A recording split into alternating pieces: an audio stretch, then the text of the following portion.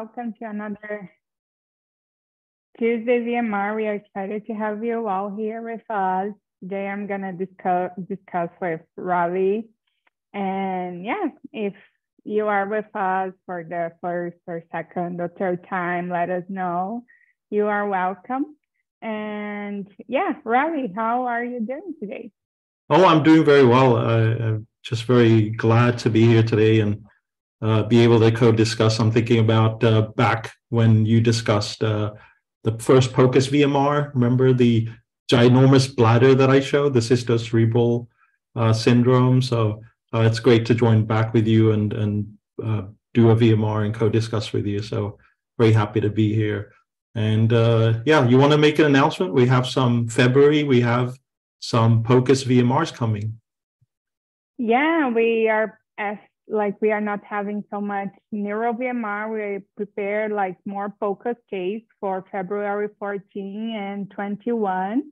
Uh, we are gonna have amazing guests with no, we don't have Dr. Ria yet, Yasmin. We're gonna have Dr. Rispretto and and Sanjay. So yeah, I hope you all can join us because it will be amazing.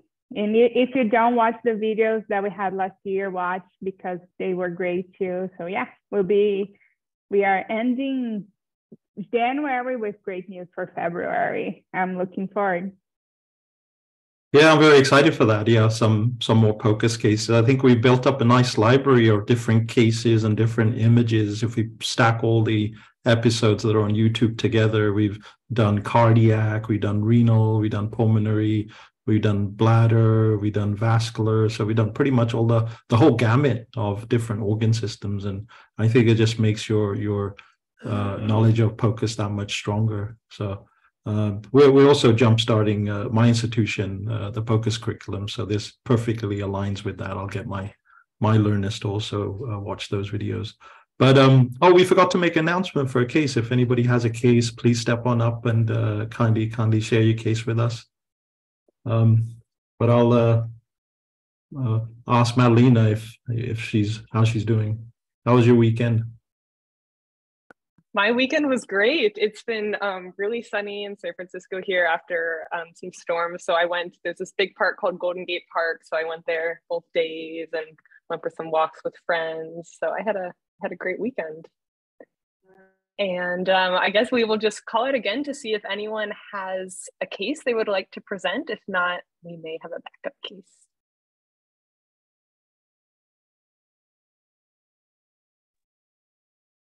Yasmin, how you been?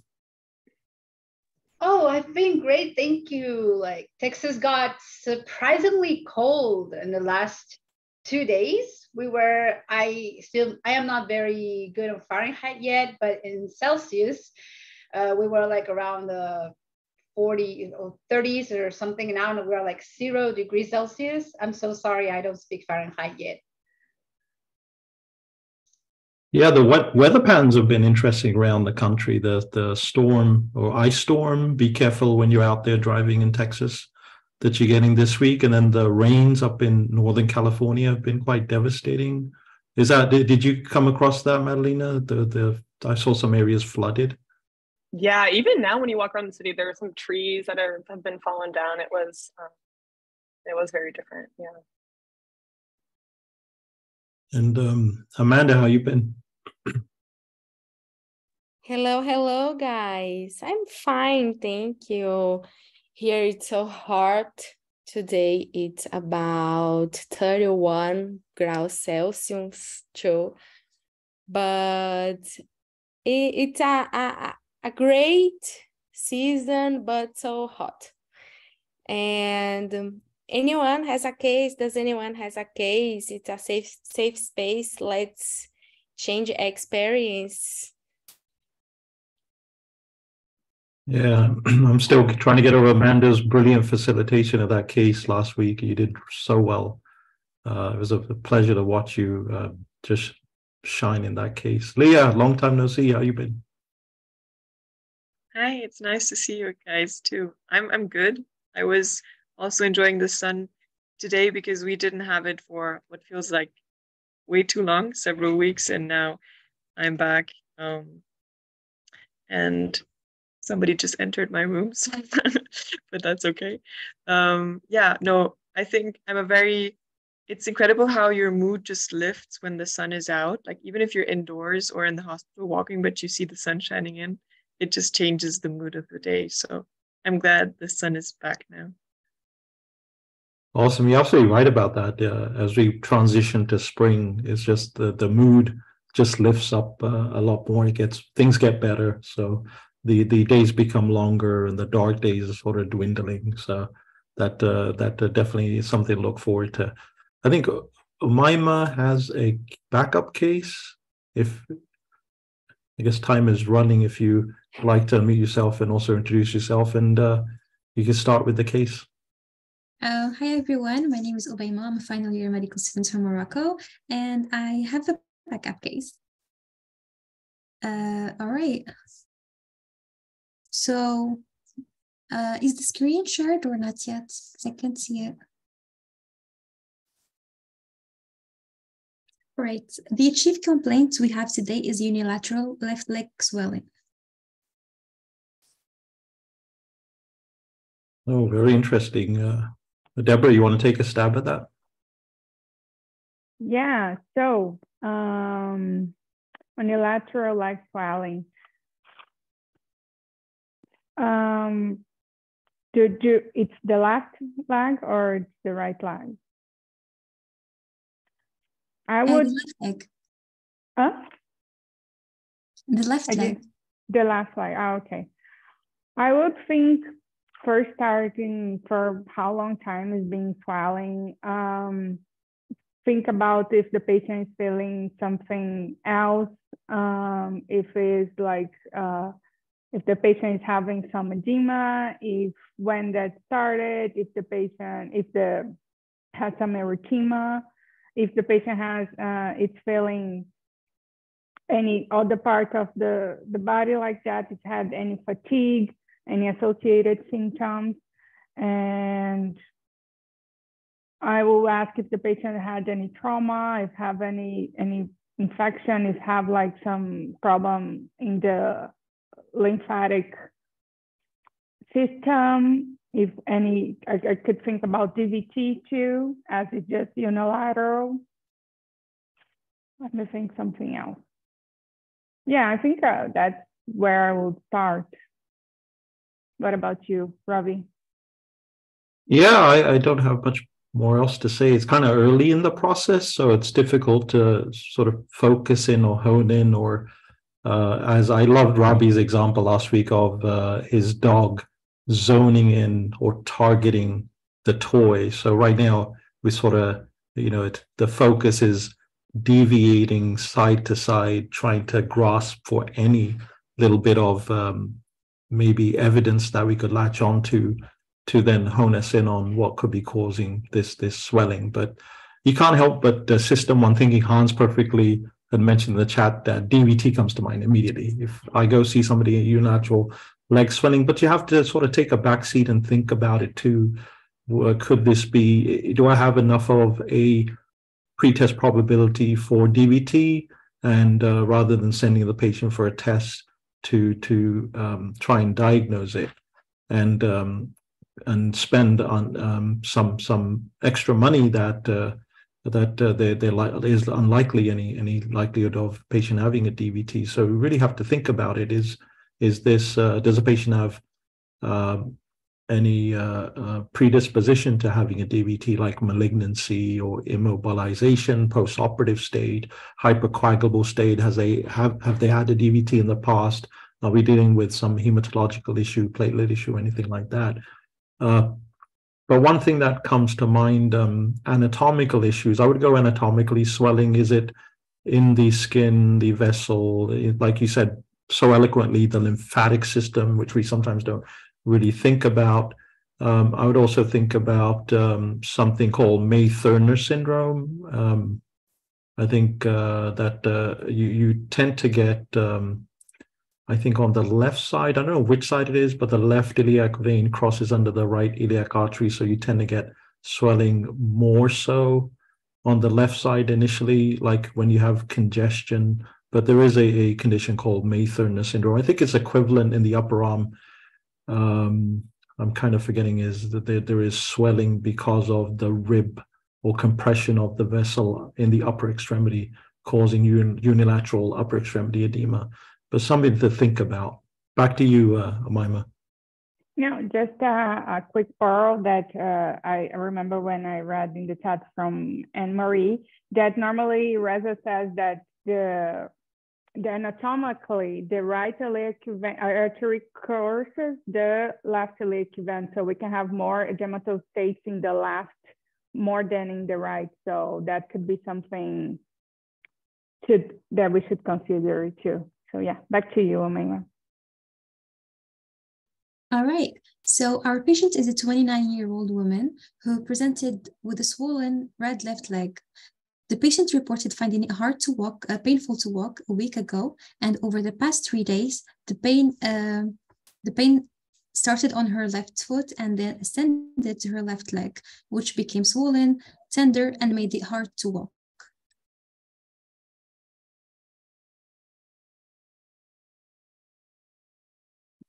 Um, shall I give you more history or stop here? I think we can go on to the history. We'll, okay. Then we'll have Deborah discuss.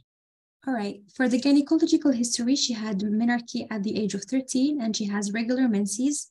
Uh, she's a para 3 and had no miscarriages or postnatal complications.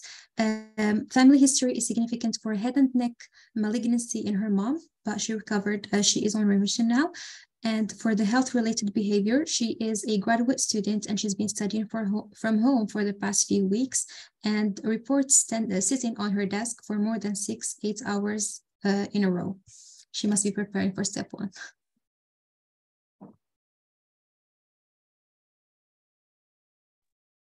What do you think, Deborah? Yeah, that for uh, the, the first thing that I thought for poor students now is just studying and and that happened. But um so it's in the the the leg is red and it was found hard to walk and actually then becomes swelling very painful. So yeah and the patient doesn't have any past medical history so i think all everything that we've the the diagnosis that we thought DVT, uh, cellulitis, and infection, I think we could think about that if the patient had like an exposure to, like that could be an infection. And yeah, and I will definitely go look for the DVT or and other some blood exams to check the coagulation of the patient. I think, yeah, that's that's where I would go. Yeah, I love the the thought about again, uh, patient if the patient's sitting, studying from home, maybe putting some compression on the vessel. So again, following the anatomical approach that you had mentioned, you have the vessel.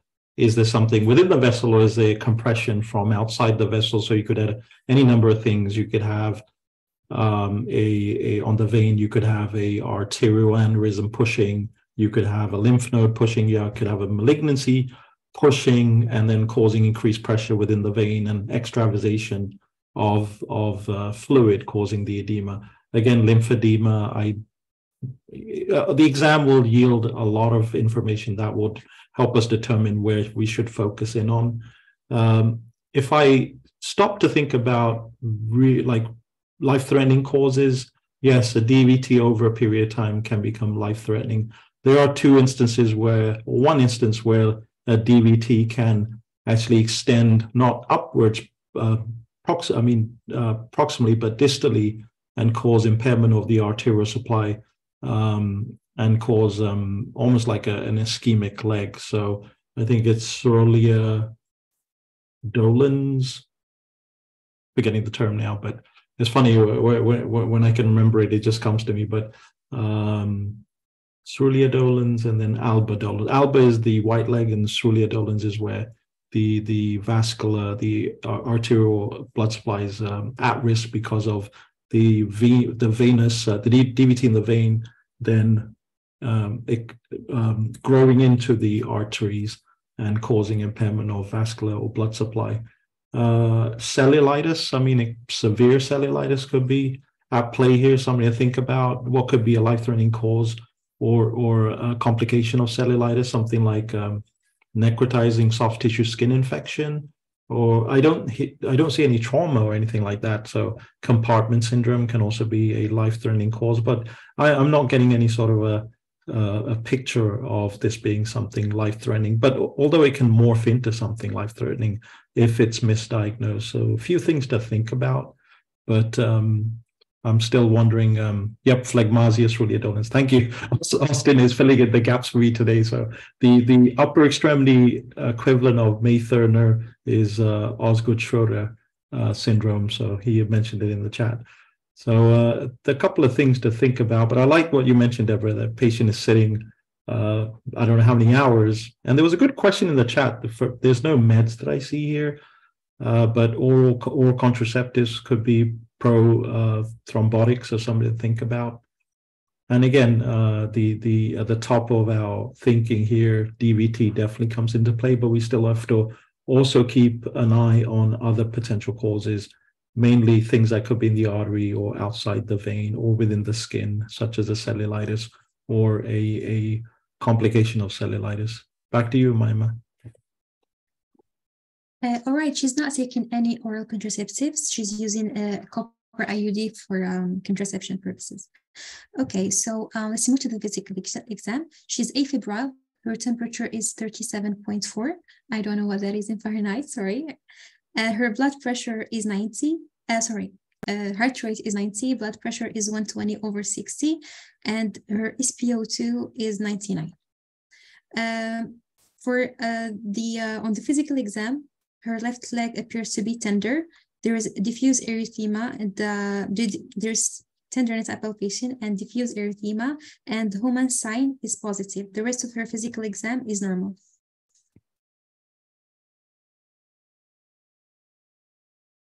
Interesting, Deborah. How does this exam help us? Does it help us or does it do nothing for us? What do you think? Um, yeah, so the vitals, the patient is normal. So the left, yeah, help us like the diffuse erythema um, could, uh, we could think about the cellulitis and the Homans we could think uh, of the DVT if I, I'm not saying wrong. That's, that could help us from our diagnosis that we were thinking. What do you think, Robbie?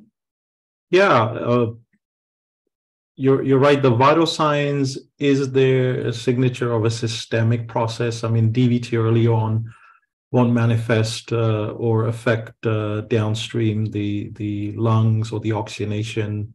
There's no well, the heart rate is in the upper limit of normal, 90. There's no temperature. Sometimes you may get a low grade temp or a a fever with the DVT, and the blood pressures are stable. So if the patient had a PE, massive PE, those vital signs may be impaired. So the the exam again is just the leg. There's no sign of any systemic involvement. There's tenderness, diffuse erythema. Homan sign. How does that help us? Uh, do you remember, Deborah? Is is that something that's useful?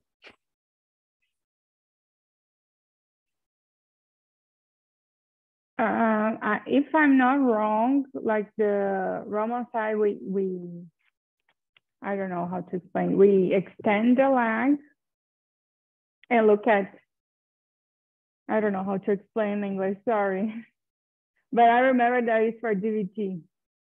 Yeah, something that was classically taught if there if there is pain in the calf, um, especially when you're extending the foot or is it no flexing the foot, uh, that could be uh, a potential positive sign of a DVT. Although I'm seeing in the chat people are saying, and Elaine mentioned should not be elicited since it could displace the clot. there's always that possibility. And Austin is mentioned only as a likelihood ratio around one. So really not helpful. If it is positive, it does put a question mark in your mind as there could be presence or something. But there are many things if you have cellulitis that could be very painful. If you have a hematoma, it can be very painful. You have a Baker's cyst, it can be very painful. So many other possibilities could elicit a positive Homan's-like sign. So again, I don't think it does anything really for us. So we're still left with this big bag of of many diagnoses. And uh, I think now we'll have to rely on Umaima's labs to see if we can push forward with uh, narrowing it down, or like Robbie's dog, honing in or zoning in on the toy or the diagnosis. I just love that. I just love that example. I was watching over the weekend, I was watching my dog try to focus in on his toys as well. So it's always a delight if any of you have dogs. Back to you, Mima. Ravi, it's kind of incredible. He's doing it right now, actually. I'm not sure if you can see him, but he just found his ball right here. As you were narrating it, it was it was like the timing was impeccable.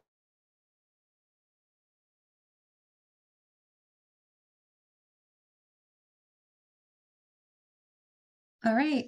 Um, I'm going to give you the CBC and then an, and then an imaging. Uh, her hemoglobin was 12.9, platelets uh, 140,000, and the white, the white blood cell uh, 7,000. Um, shall I give you the uh, imaging or wait until you discuss the CBC? Or it doesn't tell you much? Yeah, let's see. Okay. Yeah, I think let's do the imaging. It doesn't. I, I was waiting for a big white count, but we don't have that. So again, we're sort of sort of not not really clear on what's going on. So maybe the imaging will help us. So we did a Doppler ultrasound and it showed an iliofemoral deep venous thrombosis. What do you think, Deborah?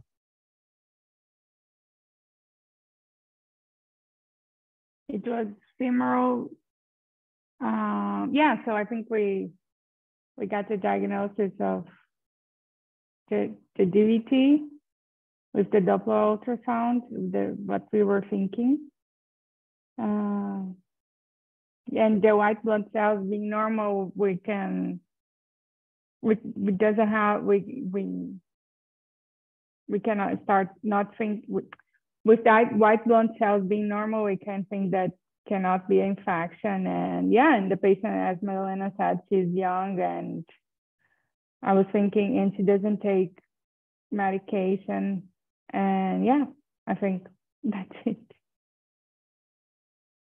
Yeah, so uh, it was interesting while while uh, Umaima was presenting the case, I was trying to think about what else could be causing this. But uh, two thoughts: something extra to this, not not related to the DVT, that could cause uh, pain out of proportion to findings. Although in this patient, I'm not not getting the sense of, that the pain is is tremendously like out of out of control. So one is uh, compartment syndrome, and the other would be something called complex pain, uh, regional pain syndrome, and something I've never seen before, but it's definitely put uh, it's in the in the schema for unilateral leg edema and it's something where you would get uh, like burning or throbbing pain. There's pain. I don't know with this patient, the pain starts in the foot and moves upwards, but there's also something else that gives it away. Changes in skin temperature. There's a alternating between sweaty and cold, and also changing in skin color, which could become uh, blue or red. So there's something to think about if you sort of run out of ideas. But here we have a femoral DVT and it is at risk of propagating since it is above the knee. And then we have to decide if, if this is provoked or non-provoked. I guess this is non-provoked. Sitting shouldn't really cause something of, to this degree. So um, I would be very worried that there's something behind the curtain that we have to pull back and see if there's a systemic disorder at play. Is this a inkling of something going on in the background, like a malignancy, like a hematological process that could be causing this, and it could actually morph into a, a multi-systemic uh, disorder. So this may just be the, the start of something. Omaima, back to you. Okay, so the the uh, prothrombin rate was elevated and her PCC was prolonged. And um, yeah, we then did a rheumatological workup, but since we did it uh, like on two times because uh, we work in a low resources setting, I would like to ask you which labs would you like, which uh, antibodies would you want to order first? Wow, I usually hit the button and we get everything. But what do you think, Deborah? What would you, what would be the big one that we would want to get? Yeah, I think ANA, I think we can order uh, rheumatoid factor and Yeah, I think ah, I think we could order the ones for. Sorry, I forgot. And we can order the ones for yeah, I think ANA, ANCA, and and phospholipid. ANCA we can order, but I think I could wait a little bit. I order this first and then maybe go for ANCA. That that will be my thought. Yeah, I would also uh, worry about uh, lupus anticoagulant and uh, anticardiolipin. Um, I would do those and then see if those also come back positive or not. Protein C, protein S are the other ones, and factor V Leiden deficiency. So I'm very interested in the antiphospholipid. Uh, so uh, we did ANA first and anti-double-stranded DNA, and they were both negative and uh, we left the workup for antiphospholipid next, and we it was positive. Lupus anticoagulant was positive, anti-beta two, glycoprotein was positive, and cardiolipin antibodies were also positive.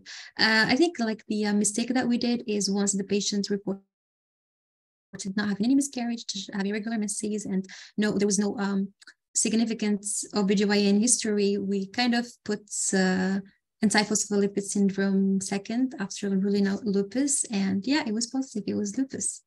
Uh, sorry, it was antiphospholipid syndrome. Sorry. Wow. Deborah, what do you think? What did you learn from the case?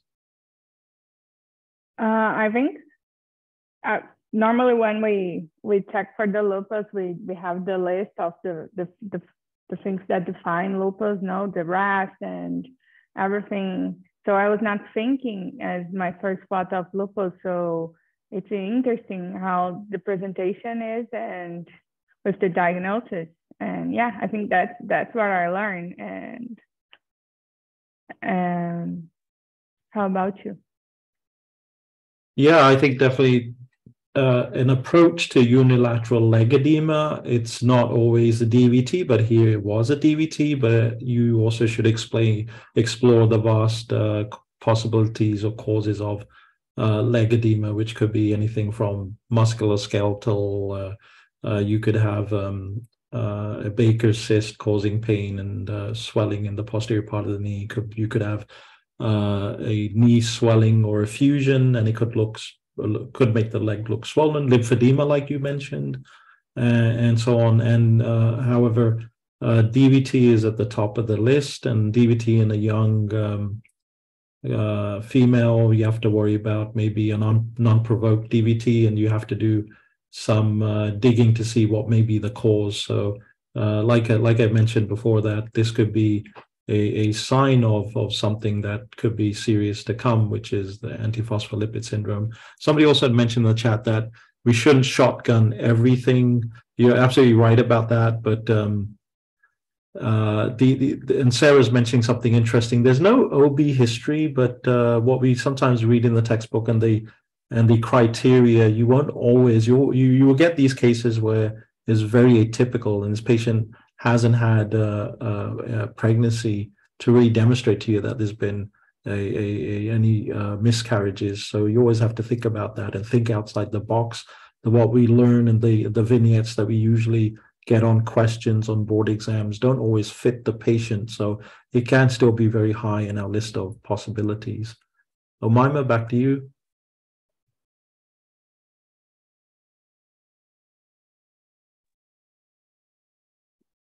Uh, so yes, uh, the patient was referred to a, rheumatologist, and uh, she uh, she actually was thinking about switching to OCPs after her, her IUD, but that probably probably won't be possible after this episode. And um, yeah, this case also told me not to like uh, look for all the criteria that we read in textbooks. And yeah, that's it. Thank you. Thank you. That was a great case. Uh, definitely, definitely learned a lot and enjoyed taking this diagnostic journey with Deborah. Uh, teaching points. We have Maddie doing the teaching points. Take it away, Maddie. Yeah, this was Omaima. This was such a fantastic case, and as always, Deborah and Robbie, really, really wonderful discussion.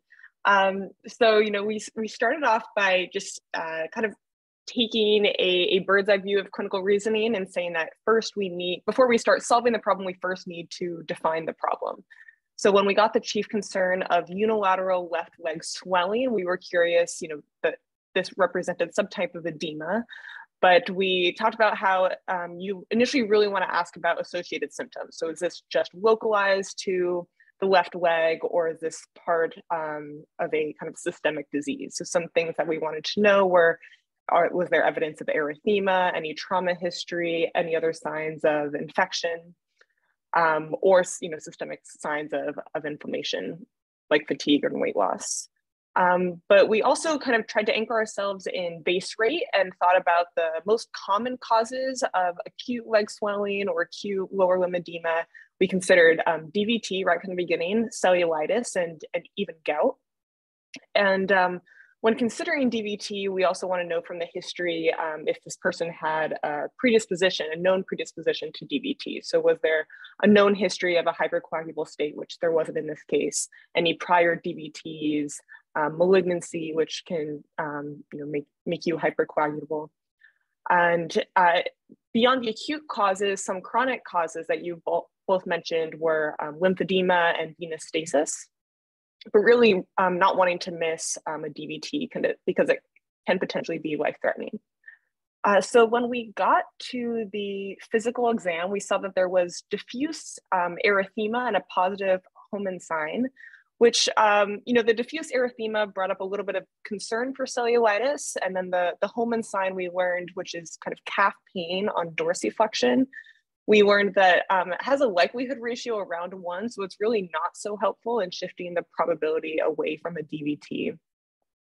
Um, ultimately, in the workup, when the Doppler ultrasound um, revealed a DVT, um, we both mentioned that the DVT is really not an endpoint diagnosis. You really need to ask the question, well, why does this young woman have a DVT in the first place?